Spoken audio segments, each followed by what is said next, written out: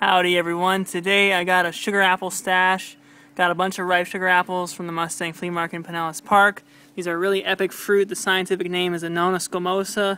It tastes like a custardy, uh, very sweet and a little bit grainy, uh, sugar-like custard fruit with a lot of seeds. Here's one that's open already. These are super duper ripe, so I got a deal. And as you can see, that's a ripe one there. Just eat the white part around those black seeds and the skin is not edible. So these are sugar apples. The scientific name is Annona squamosa. These are really, really sweet and really delicious. I recommend you check them out when you're in the tropics or when you're in Florida or wherever you can get them. Just check them out for sure. So these are ripe sugar apples. And this is a mega stash right here. Check them all out. And hope you like them. Please click like, share, and subscribe. See you later.